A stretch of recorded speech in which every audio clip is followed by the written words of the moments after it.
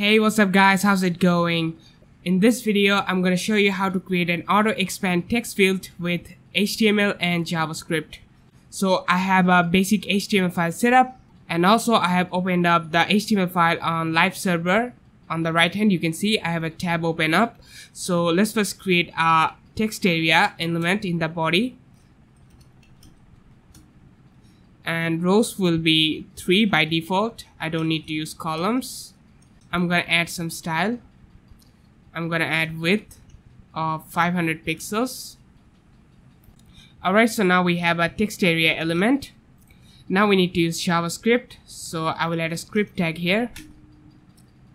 And inside the script tag we need to select the text area element.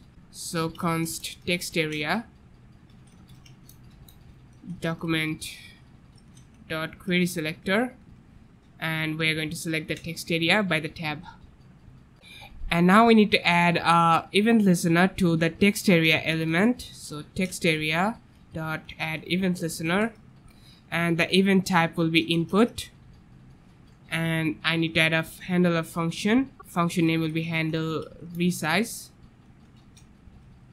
So let's create that function. The function name will be handle resize and inside the function we will have access to the this keyword and this keyword will refer to the text area element. First we need to reset the height of the text area element. So this dot style dot height will be auto.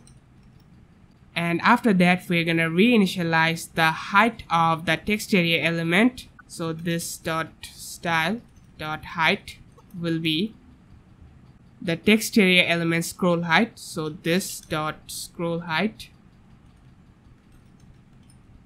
then plus pixels. So let's test it out.